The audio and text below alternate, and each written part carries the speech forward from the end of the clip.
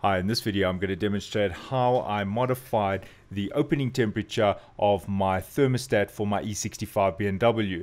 This was a bit of a trial and error video. It's more for informational purposes and it's definitely not scientific. It's just some of the steps I followed and I thought it would be useful. The E65 is notorious for coolant leaks. I suppose one of the main reasons is the coolant runs pretty hot. The normal opening temperature for the OEM thermostat is 105 degrees. So those owners of this car know that you can easily get 107, even 809 degrees Celsius, especially when sitting in traffic or when the car is just idling.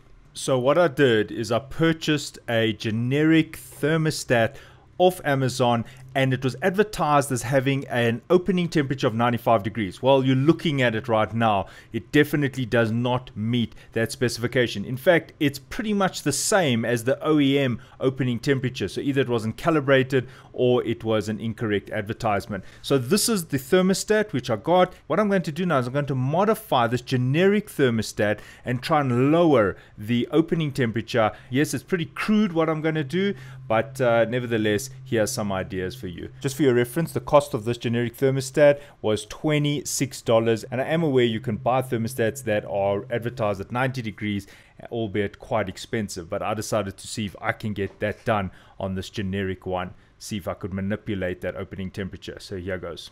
So the first thing I'm going to do is just remove all of this. So there are a couple of screws here. This is a T30 you'll need to remove one two three four then these clamps one, two, and three.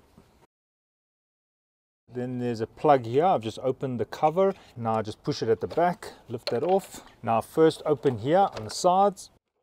And then I gently twist this, keeping in mind there is a pipe at the back here, which I just remove. Right, here is the thermostat. So I just want to remove the plug. This is the map function. So I can remove this plug I just lifted the clip and then I could remove the plug. Now I'm just going to release the pressure if there's any pressure built up, keeping in mind that one cannot do this job if the car has recently been driven. Car needs to be cool. Now I'm going to reuse the antifreeze because this car has recently had a coolant flush. So I've got a bucket and then I've got these plastics. These plastics are airtight and what I'm going to do is I'm going to put the plastic by the pipe capture the old antifreeze, put it in the bucket, and then reuse it when I put the thermostat back. That means I'm going to put this bag underneath the thermostat. And when I release that pipe, all excess antifreeze and water is going to go into my bag. Right, I'm going to loosen these screws here. This is a size 10. I'm not going to take them off, I'm just loosening them. Right, I'm now taking the bag and I'm putting it underneath the pipe. Right, now I've blown this out with a blower and I've wiped it down because I don't want any dust and sediment to get into this bag. Now there's my bag around this pipe.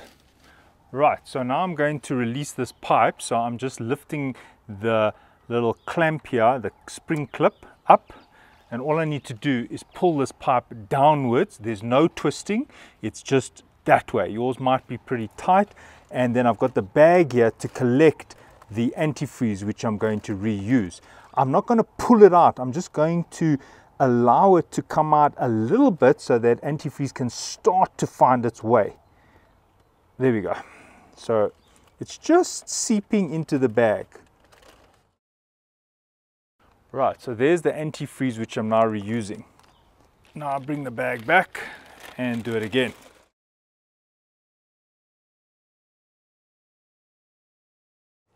Now I'm moving this pipe out of the way and just letting the remainder of the antifreeze drain into this bag. Now what I'm going to do is I'm going to open the thermostat and let the other side of the thermostat drain into the bag.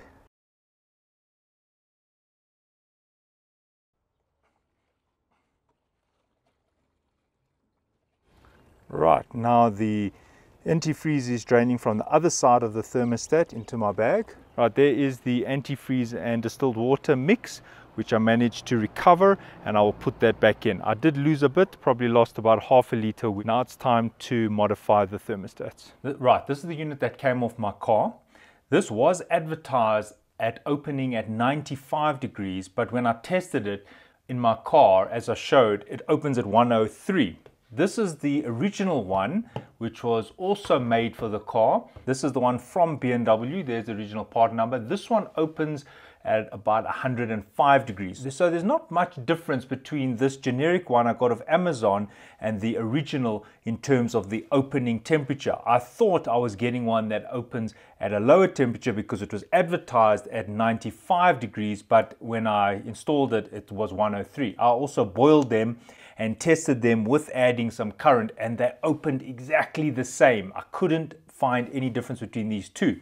Right, so this is the generic, the one that I'm modifying, and this is the original. So this is 105 degrees. This I've also added a voltage and current source to try and initiate the opening a bit earlier because I cannot get the temperature in this pot above about 80 degrees.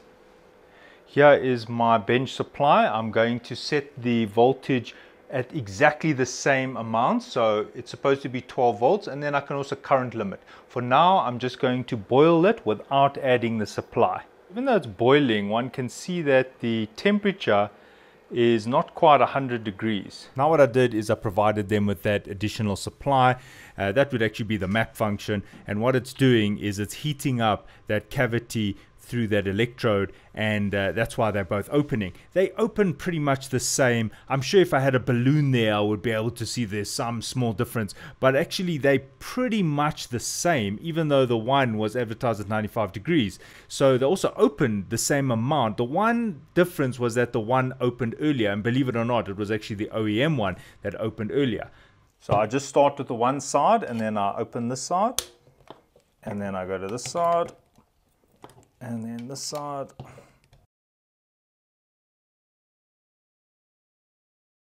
If you are going to try to remove this, try to remove this when it's a bit warm because there is a seal in the middle there. So now I'm going to try and make the opening temperature a bit lower. Now here's an older one which I've cut. Now why I've cut it is I wanted to demonstrate what's going on inside here. And just having a look here, this is a solid piece I originally thought it was made up of two pieces, but as you can see, um, when I cut through it, there's no seam. But what I think is happening here is there's a safety feature which is built in. And I wonder, and I'm just speculating, if there's another type of wax or a wax with a different temperature coefficient or something that happens over here. This particular thermostat was stuck in the open position. And the only way it could be stuck in the open position is if this needle in the middle there could not go all the way in. So something had almost expanded and then locked open in place. So it was kind of like that. So in order to make this open at a lower temperature, one could do a few things. The first one is to change the spring.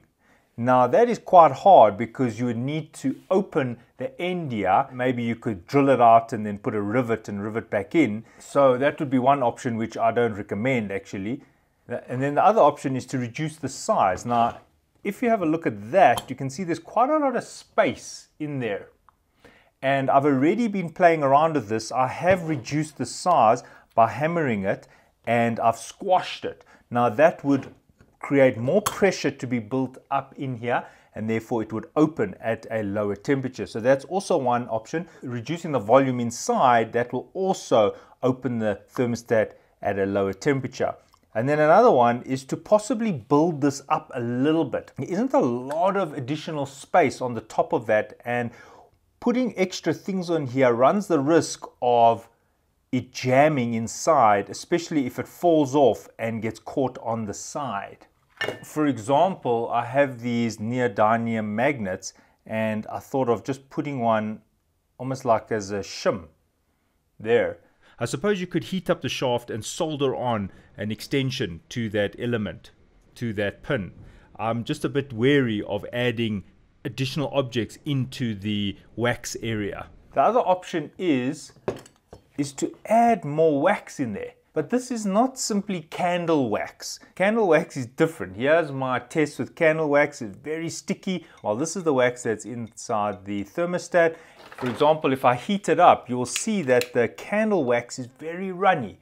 So the minute the candle wax gets heated up, and it's also got quite a low temperature, by the way, um, it heats up even at 75 degrees, it starts to soften. By 85 degrees, it is melting a little bit. So it's very runny. While if you look at the wax that came out of the thermostat, it's a little bit different.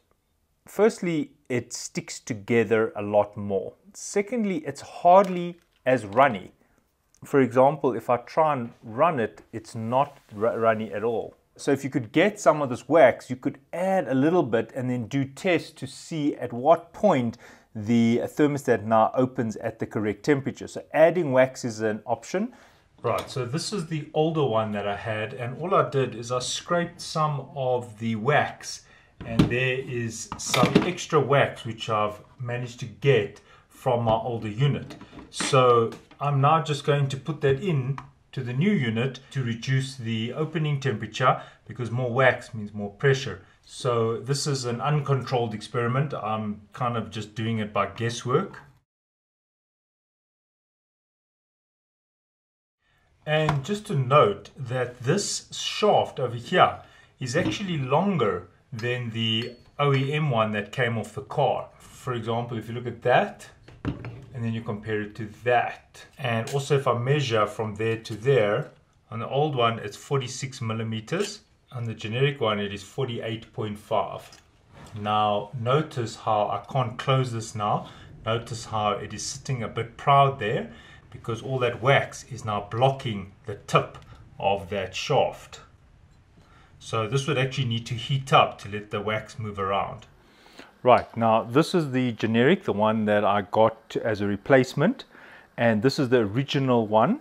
So this was opening at 103, this was opening at 105, according to the temperature at my engine. And when I did this test, they pretty much did the same things. Now what I've done is I've added a little bit more wax into the generic one to see if I can lower that opening temperature. Now, at the moment, nothing is happening there. Uh, at the moment, it's boiling, but neither are opening. As you can see, they're both closed. Now, unfortunately, I can't get this above 90 degrees. And if I show you with the thermometer, for example, it's about 70 to 75 degrees when I measure using this infrared thermometer. Now, these thermometers are not extremely accurate, but I am measuring there on that shaft and uh, I'm definitely not at the 100 degrees or even 90 degrees. So neither of these are going to open. But what I'm going to do is I'm going to add some current to try and assist it. But the success will be that the one should open more or earlier than the other. So now I'm going to provide a little bit of current. So here's the bench supply and I'm going to current limit them. I'm only putting it at 0.5 amps each. So that means it's not getting the full 12 volts. I don't want it to be at maximum. I just want to see a small change. Now the moment of truth, immediately I'm seeing the generic one. Look at that. That is opening now while the OEM one is not opening. That's telling me I've lowered the temperature. It never did that before I added the wax, so you can see that it's opening earlier than that one. How many degrees? That I don't know. The only way I could find that out is if I could somehow heat this water to more than 95 degrees. There, okay, the OEM one has opened slightly, but look at the difference there. That's the success. So that's opened quite a bit compared to that. Now, if I put it at full, now I'm going to set them both to 12 volts. And there you can see the current is pretty similar. 710 milliamps versus 690 uh, voltage is the same. Very small differences. I can set the current to be identical since the current is what's causing that heat rather than just the voltage. Right, so both have the same current at the moment. Now let's look at how much these diaphragms have opened. Right, so this is the generic and this is the OEM. So there we can see that it has opened more. I'm going to leave it like that just for a minute. Right, so the generic one has opened uh, quite a bit. Uh, it hasn't gone past that point, even though I've left it on for a bit. And now I'm going to turn off the power supply and just see how fast they close and if they do in fact close all the way. So now these can actually come off even in the closing cycle, we can see that the OEM one is closing quicker, meaning its opening temperature is higher than that one. So we can see that that one is closing slower. So the question is how many degrees cooler and that's the problem. It's this is just guesswork. I'm just posting this video just out of interest. Obviously it's not scientific because I would have to do this and measure how many grams of wax and also what type of wax. Not all wax is the same. They've got different coefficients for their temperatures. Okay, so the next step is to put this on the car and see what the car measures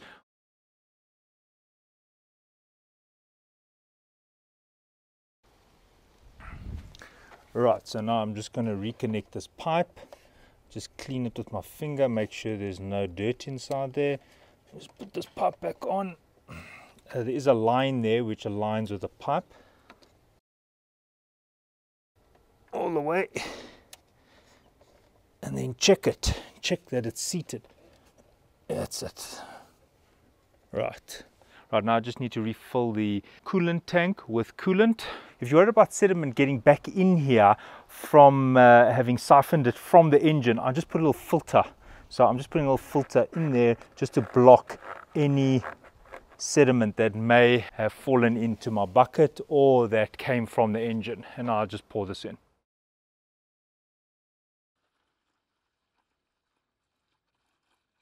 And I'm just taking some water and just cleaning here because I don't want there to be any residue of antifreeze otherwise it'll get confusing for uh, tomorrow. Okay, I just sprayed water inside there. Obviously block that, don't get any water in there because what will happen is there's some antifreeze that is sitting on the plastic cover, bottom cover that's at the bottom there. what happens is in the morning you'll come to your car and you'll see antifreeze on the floor and you'll think, oh, it's leaked. So I've cleaned it and I've now made it just water. Water will evaporate much quicker and also I'll be able to tell if the color is green then I know it's a leak because I've removed all the excess antifreeze. Right now you could put your air filter back and connect it there and I'm going to idle the car for 15 or so minutes while the coolant reservoir is open. So I'm going to now open that and I'm going to let the car idle. Right, so I'm going to let this idle for about 15-20 minutes. Most important is put the warm air on in your cabin so it gets through the other circuit on that side where it warms up the air for your cabin. Otherwise you might have air in that side of your system. Right, so this is going to take a while to uh, get all the uh, air out and to warm up to operating temperature. Right, I'm here in the menu and there you can see the temperature it's 95 it's been idling for a good 25 minutes. I have closed the coolant cap at the moment. Uh, it was open for a long time but now it's closed